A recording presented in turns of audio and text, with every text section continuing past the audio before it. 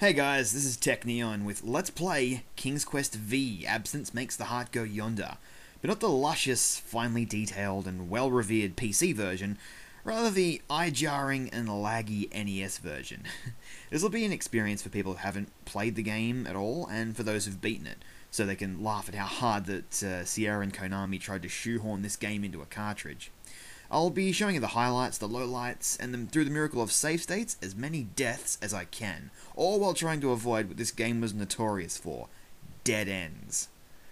So let's play. Mmm, blue. Very blue.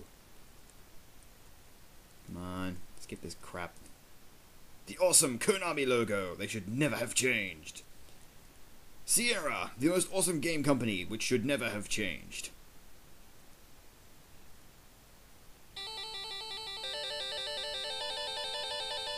Dun, dun, dun, dun, dun, dun. That was how it was supposed to sound. Okay, um, we'll go no, so we can watch the story.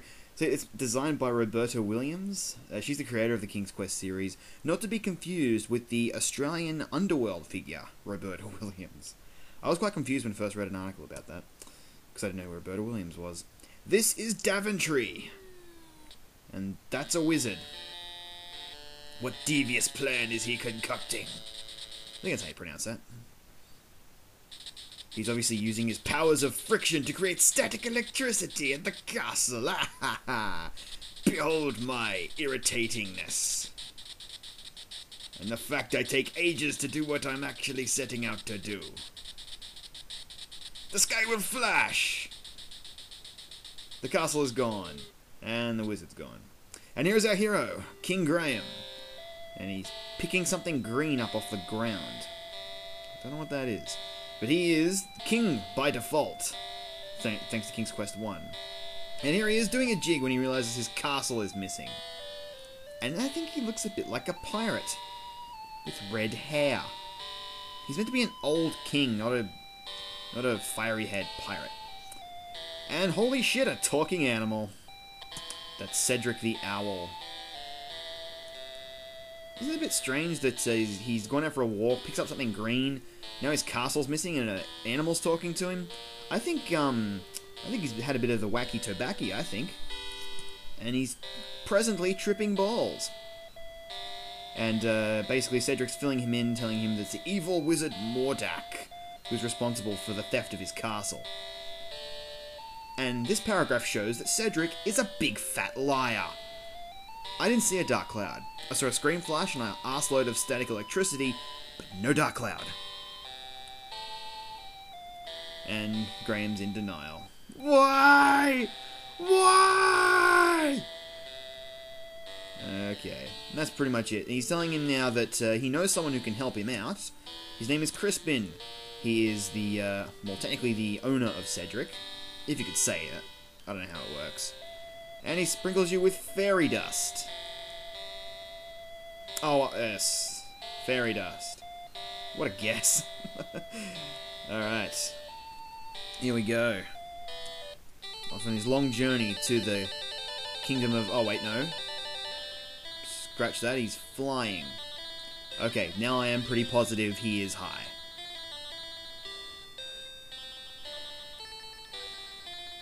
This is some good crap!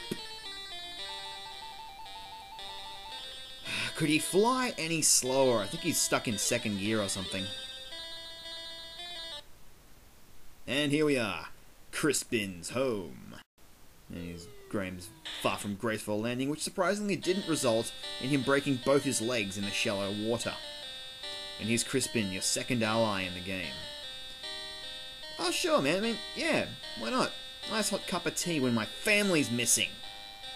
Let's go do something, man. I'm, I'm starting to come down here. okay, he's basically filling him in, telling him that Mordack is kind of frowned down upon in the fraternity of wizards. Uh, if you want to read this text, you can always pause the movie. You're not missing much. Of course, Crispin is very forgetful, which is why he can't be of any real help. So now he's going to get a wand for you to hopefully help you fight against evil wizard Mordack. He's just rummaging through his crap. And he brings out the. Why do you call him his son? He brings out the wand. No, not that wand. I don't think it's a wand. I think it's something else. Whitesnake. What, like the band? Awesome! Okay, it's basically a thing he's using to communicate with the animal world, which he does quite a bit of during this game. Going with nice animals. The evil animals, you actually have to almost kill them. Okay, but the one Crispin gives you is more or less dead, so you got nothing to really, you know, nothing to do with it until towards the end of the game. And Cedric has been ordered to. Oh my god, look at that text. Phoenix Wright had less text than this. I apologize. I'm sorry, Phoenix. I didn't mean that. Anyway, Cedric has been ordered to go with you on your journey to rescue your family and castle. Now, we are in control and can now freely roam the highly dangerous Kingdom of Serenia. Okay, ooh, poisonous snake. This is one of the first screens you're in. And there's a death right here. And he got bit in the ass. That's on Dead King. Anyway. Right. Um, we'll go this way first. This is the town. It's uh, not as impressive looking as it does in the uh, PC version. But then again, nothing looks as good as it does in the PC version. Only one person hanging around, and there's a dude there with a barrel, uh, with a wagon, which stops you from going further into the town. Okay, here's a nice little river. Let's uh, let's go for a swim, shall we? Yeah. Come on, get in the get in the fucking water. All right, fine. We'll have to use the laggy inventory system. As you can see, we've got I don't know. I think it's stand, walk, look, speak, and use. And the inventory is the one on the other side there, as well as the menu and music. So get in the water. Wait, Graham, be careful. Glub, glub, glub. so you're not Iceman and you're not Adam from EcoQuest. You cannot swim. Well, here at least. This is a pie shop. You'll need to come back here later to purchase a pie for reasons you'll discover later. This is the North Inn. Uh, now, anyone who watched my preview video will know what happens if you try to go in there.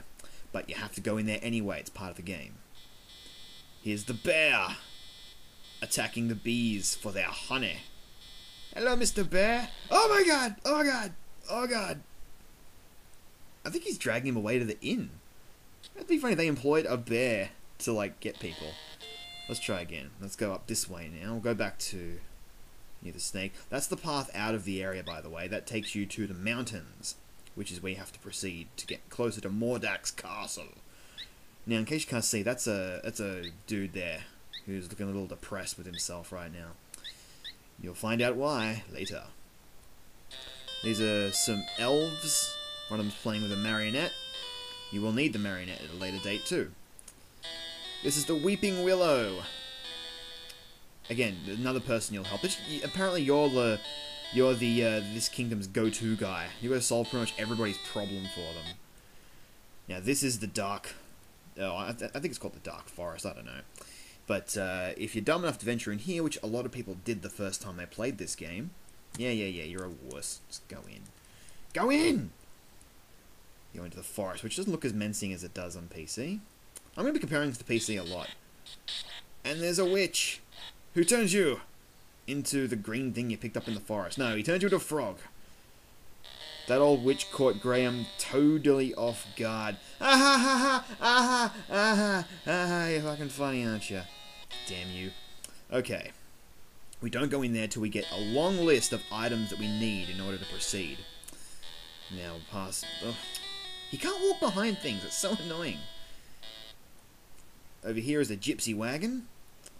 You cannot go inside to see, I think it's... What's the name? You get told the name by a very thick accented man. It will cost you one gold coin to see Madame Mushka. Oh, that's that's totally not stereotypical. These are the ant. This is the ant hill. Um, yeah, that's it. It's an ant hill. Um, just, just putting a word out. Anyone out there who's played like maybe a CD-ROM version of this game, I could have sworn when I was younger when I played this, I heard the ants singing something, like something like "Where are the ants?" along along to this music. Can someone confirm this if they have played it? I'd really like to know. I just want to know whether or not I'm in, I'm insane.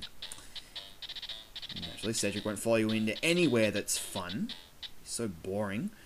This is the desert. You, we will be venturing here at the beginning of the next part. Let's just uh, walk south for a little bit.